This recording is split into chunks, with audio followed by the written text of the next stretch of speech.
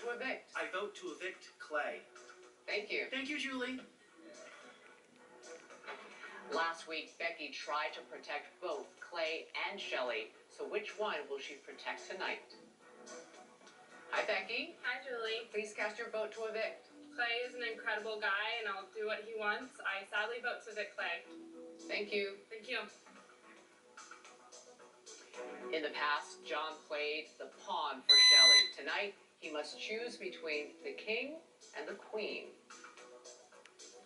Hi, John. Hello. Please cast your vote to evict. It's been a weird day. I vote to evict Clay. Thank you. All right.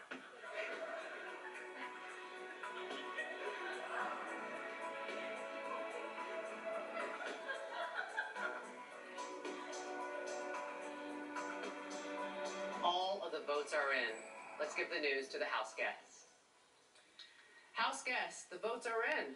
When I reveal the vote, the evicted house guest will have just a few moments to say goodbye, gather his or her belongings, and walk out the front door. By a vote of nine to zero, Clay, you are evicted from the Big Brother house.